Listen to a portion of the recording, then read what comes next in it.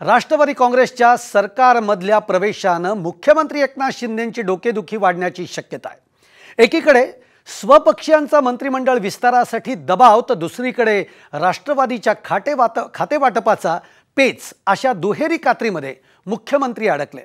पाहूयात या संदर्भातला एक रिपोर्ट. माणूस म्हणून मी अजितदादाकडे चांगला एक अभिमानानं पाहतो की हा माणूस हार्डवर्कर आहे. अजितदादा हे एक चांगले कार्यकर्ते आहेत चांगले नेते आहेत. अवघ्या दहा बारा दिवसांपूर्वी शिवसेनेच्या शिंदे गटाला हवे हवेसे वाटणारे अजित पवार सत्तेत येताच मात्र शिंदे गटाला नकोसे झालेत. कारण अजित पवारांना वित्त खातं देऊ नका अशी विनंती शिंदे गटातल्या आमदारांनी मुख्यमंत्री शिंदेंना केल्याचं समजतंय. महाविकास आघाडीच्या काळात वित्तमंत्री असताना अजित पवारांनी निधी वाटपात राष्ट्रवादी काँग्रेसच्या आमदारांना झुकतं माप दिलं आणि शिवसेनेच्या आमदारांना निधी देताना हात आखडता घेतल्याचा शिंदे गटातल्या आमदारांचा आरोप आहे. फक्त एवढंच नाही तर राष्ट्रवादीच्या सरकारमधल्या एंट्रीनं शिंदे गटही अस्वस्थ झालाय. जेव्हा सत्ता डिवाइड होते तर प्रत्येकाला जी अपेक्षा असते की नाही हे मला मिळालं असतं हे मला मिळालं असतं तर त्याच्यामुळं तर थोडीशी बहुत नाराजी येते येते परंतु कालही मुख्यमंत्री साहेबांनी आणि उपमुख्यमंत्री साहेबांनी या सर्वांना समजवलेलं आहे. त्याला एक भाकरी खायची होती त्याला अर्धी मिळाली. अर्धी खायची होती त्याला पाव मिळाली. तर त्याप्रमाणे आता राजकारणाचं समीकरण घेऊन पुढे चालायचं असेल तर हे सगळं स्वीकारून चालायला पाहिजे. आणि ठीक आहे राजकारण आहे काही असू शकतं नसू शकतं. राष्ट्रवादी काँग्रेससाठी मंत्रिपदं सोडावी लागल्यानं भाजप आणि शिंदे गटाच्या मंत्रिपदातही घट होणार आहे.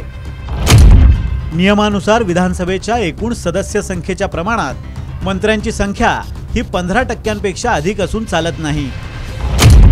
महाराष्ट्राच्या विधानसभेत सध्या दोनशे अठ्ठ्याऐंशी सदस्य आहेत. त्यामुळे मंत्रिमंडळात जास्तीत जास्त त्रेचाळीस मंत्री असू शकतात. सध्या शिंदे गटाकडे दहा भाजपकडे दहा आणि राष्ट्रवादी काँग्रेसकडे नऊ मंत्रिपदं आहेत. त्यामुळे चौदा मंत्रिपदं रिक्त असून त्यात पुन्हा तीन वाटे केल्यास प्रत्येक गटाला चार ते पाच मंत्रिपदं मिळू शकतात. पण शिंदे गटातल्या इच्छुकांची संख्या त्याहीपेक्षा अधिक असल्यानं मंत्रिमंडळ विस्तारानंतर शिंदे गटात मोठ्या प्रमाणात नाराजी उफाळून येऊ शकते. राष्ट्रवादीच्या सरकारमधल्या प्रवेशानं मुख्यमंत्री एकनाथ शिंदेंसमोर सुद्धा पेच निर्माण झालाय. एकीकडे मंत्रिमंडळाच्या विस्तारासाठी शिंदे गटातल्या आमदारांचा शिंदेंवर दबाव वाढतोय तर दुसरीकडे राष्ट्रवादी काँग्रेसच्या मंत्र्यांचंही मनासारखं खातेवाटप करण्याचं आव्हानही आहे. आम्ही एकत्रपणे काम करायचं ठरवलेलं आहे. त्यात कुठलीही नाराजी नाही. मंत्रिमंडळाचा विस्तार किंवा पदं द्यायची असतात डिपार्टमेंट द्यायचे असतात किंवा पालकमंत्री पदं द्यायची असतात तर असे काही काही वेगवेगळ्या प्रकारचं मतमतांतर असू शकतं. डेमोक्रेसी आहे. प्रत्येकाला आपलं म्हणणं मांडण्याचा अधिकार आहे. शेवटी सगळ्यांचं म्हणणं ऐकून घेतल्यानंतर राज्याचे मुख्यमंत्री या नात्याने अंतिम निर्णय एकनाथराव शिंदे साहेबांनी घ्यायचा असतो. आणि शिंदेसाहेब तो निर्णय योग्य पद्धतीनं घेतील. राष्ट्रवादी काँग्रेसच्या रूपानं सरकारमध्ये नवा भिडू आल्यानं भाजप आणि शिवसेनेच्या मंत्र्यांकडील काही महत्वाची खाती राष्ट्रवादीच्या मंत्र्यांना जातील हे स्पष्ट आहे. त्यात मंगलप्रभात लोढा यांच्याकडील महिला आणि बालकल्याण विभाग गिरीश महाजन यांच्याकडील ग्रामविकास किंवा वैद्यकीय शिक्षण विभाग रवींद्र चव्हाण यांच्याकडील अन्न आणि नागरी पुरवठा विभाग हे विभाग राष्ट्रवादीसाठी सोडावे लागू शकतात. याशिवाय परिवहन कामगार राजशिष्टाचार आणि ओबीसी कल्याण ही खाती सुद्धा राष्ट्रवादी काँग्रेसच्या वाट्याला येऊ शकतात. तर अजित पवारांसाठी मुख्यमंत्री एकनाथ शिंदे यांच्याकडील नगरविकास खातं किंवा उपमुख्यमंत्री देवेंद्र फडणवीस यांच्याकडचं वित्त खातं दिलं जाण्याची शक्यता आहे.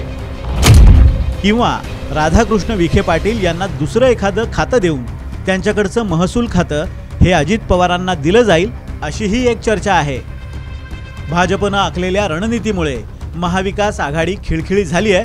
हे जरी खरं असलं तरीही सत्ताधारी पक्ष इतका बळकट झालाय की त्यामुळे सत्ताधारी पक्षातच बेदिली माजण्याचा धोका निर्माण झालाय.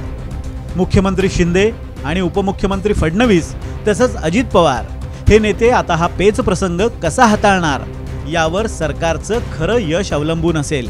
आवेश तांदळेसह Bashir Jamadar Saam T V news Mumbai.